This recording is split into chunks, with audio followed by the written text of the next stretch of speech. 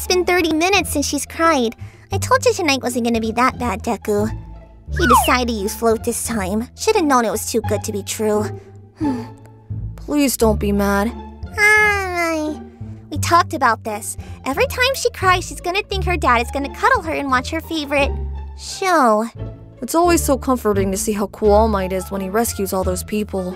I'll put her to sleep. You can head to bed.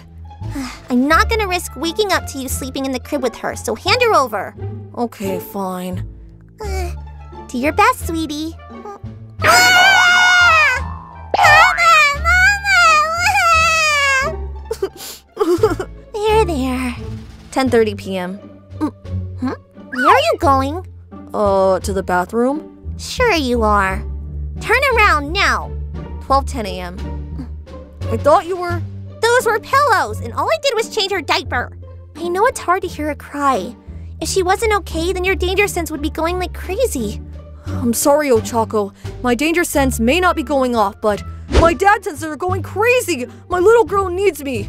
Gunhead martial arts! Don't you dare! She's going to get through this and finally be able to sleep on her own. I know, but it doesn't have to be tonight. Seriously? Oh, come on! Smokescreen too? Uh, Crap, I can't see anything. I let out too much smoke. Gotta turn on the lights. Gotta go the other way. Shit.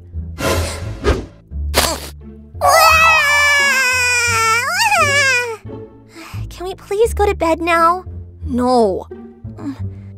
She finally fell asleep, which means I can't too. So tired. That was hard on both of my crybabies. Hopefully tomorrow goes better.